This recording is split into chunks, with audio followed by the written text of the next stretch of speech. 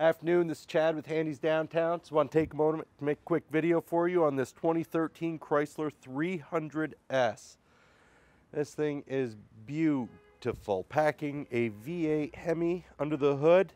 We'll do a quick walk around. I'll let you take a look at the body. You can see the parking sensors come through. Some beautiful wheels on it. Real nice tires on those wheels. Keep walking around. You can see the moonroof on top. It's huge. Car's in great shape. Pop the trunk open. It's got the Beats by Dre speakers throughout.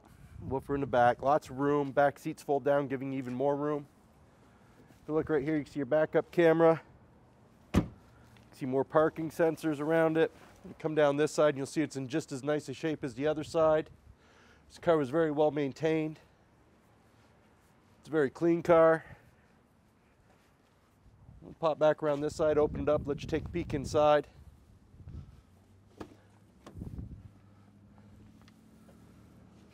We got the power windows and door locks. You can see the Beats by Dre speakers again.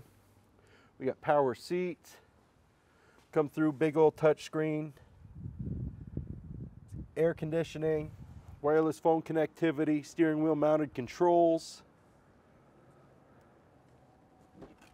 We'll open up the back, let you see all that room back there. Again, super nice car, very well maintained.